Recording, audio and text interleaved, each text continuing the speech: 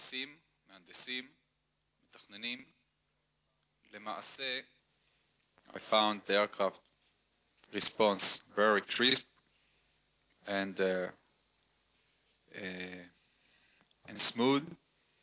Climbed to 12,000 feet when I found a hole in between the clouds and performed some uh, engine manipulations to see the engine aircraft uh, interface.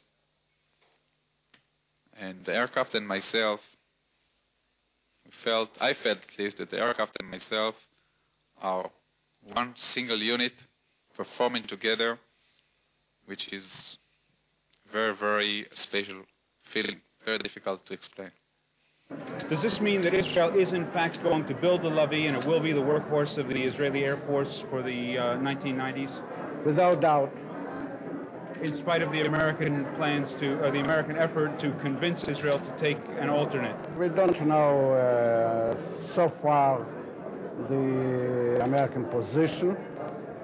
We will meet uh, the Assistant Secretary, Zakheim, Dr. Zakheim, we will meet him next week.